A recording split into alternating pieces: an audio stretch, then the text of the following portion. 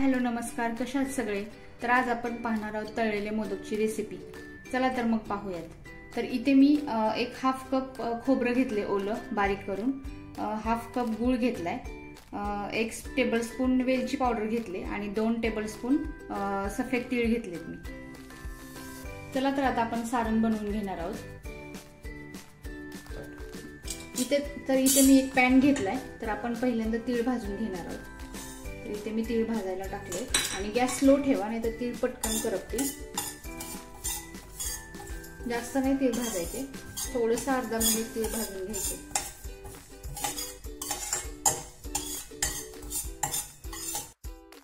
आपले तीळ भाजून झालेले तर मस्त कलर आलाय तिळाला. जास्त पण भाजलेले नाहीत. हलकासा ब्राऊन कलर आलाय. तर मी आता एका डिशमध्ये तीळ काढून घेते.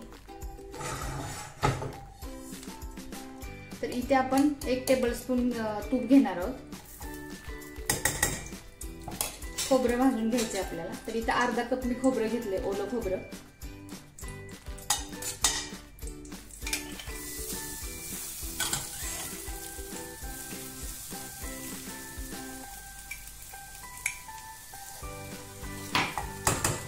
स्लो गॅसवरती भाजून घ्यायचं. पटकन करतो.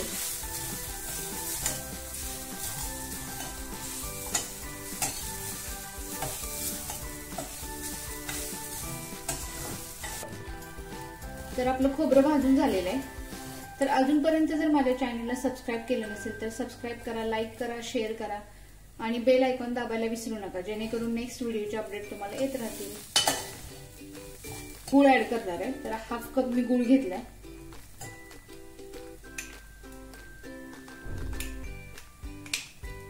गुळ मस्त विरगळून घ्यायचा.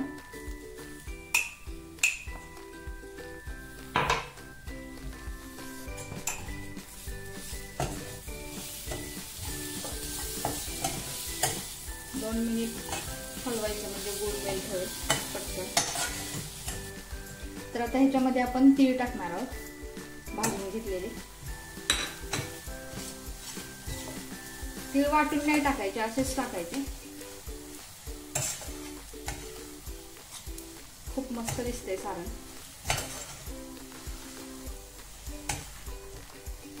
आणि एक टेबल स्पून वेलची पावडर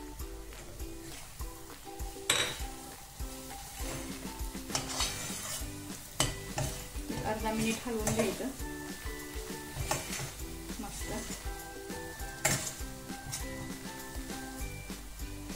तर सारण आपलं रेडी झालंय. तुम्ही बघू शकता.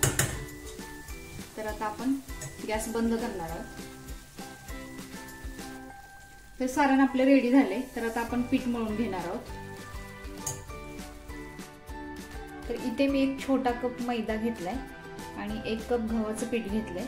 चवीपुरतं थोडंसं मीठ घेतलंय आणि पाणी घेतलंय. तर आता आपण एक बाउल घेणार आहोत. असा मी बाउल घेतलाय खोल. त्याच्यामध्ये हा गव्हाचं पीठ टाकायचं. मैदा टाकायचा.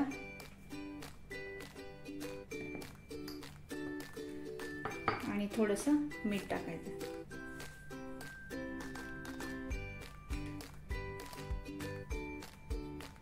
आणि एक टेबलस्पून मी तूप घेतले थोडंसं कोमट करून घ्यायचं जेणेकरून पिठामध्ये तूप टाकलं ना की मोदक छान फुलतात.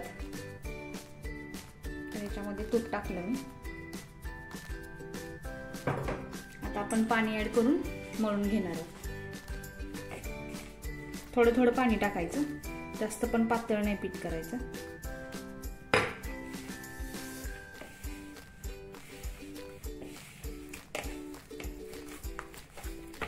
तर अशा पद्धतीनं पीठ मळायचं.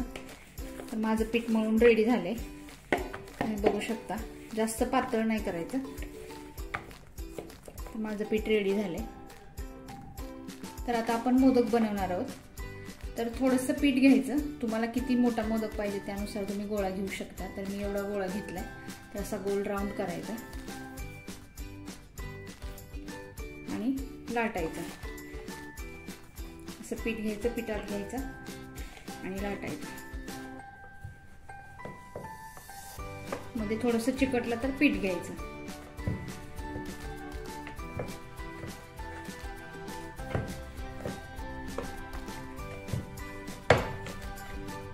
माझं लाटून झाले मी छोटे छोटे बनवणार आहे त्यामुळे मी छोटेसं बनवले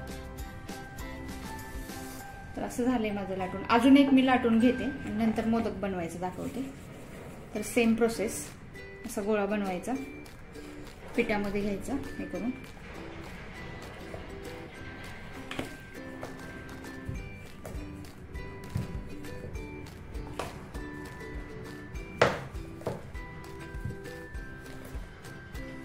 तर माझं लाटून झालेलं आहे.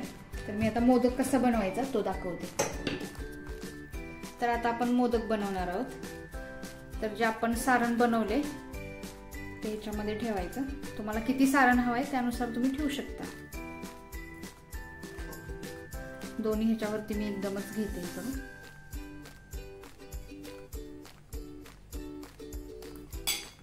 आणि असं पकडायचं. आणि असं फोल्ड करायचं. असं दोन्ही हातानं फोल्ड करायचं. तुम्ही बघू शकता. किती सुबक छान मोदक झालाय. आणि वरती थोडस असं करायचं. बघू शकता किती छान मोदक झालाय.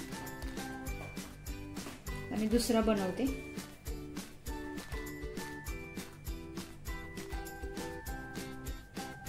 असं फोल्ड करायचं. दोन्ही हातानं. मस्त. माझे दोन मोदक बनवून रेडी झालेत. तुम्ही बघू शकता किती छान झालेत तर आता मी सगळे मोदक बनवून घेते. तर इथे माझे सगळे मोदक बनवून रेडी झाले. तर आता आपण मोदक तळून घेणार आहोत. चला तर मग आता मोदक आपण तळून घेऊयात. तर इथं मी एक पॅन घेतलाय आणि पॅनमध्ये तेल टाकून घेतलंय. तर माझं तेल आता गरम झाले स्लो गॅसवरती गरम करायचं. तर माझं तेल गरम झाले तर मी आता मोदक सोडणार आहे तळायला. तुम्ही बघू शकता.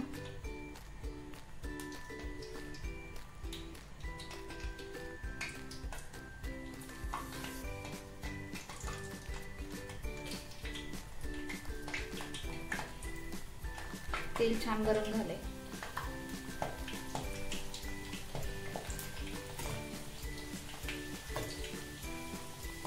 वाव मस्त.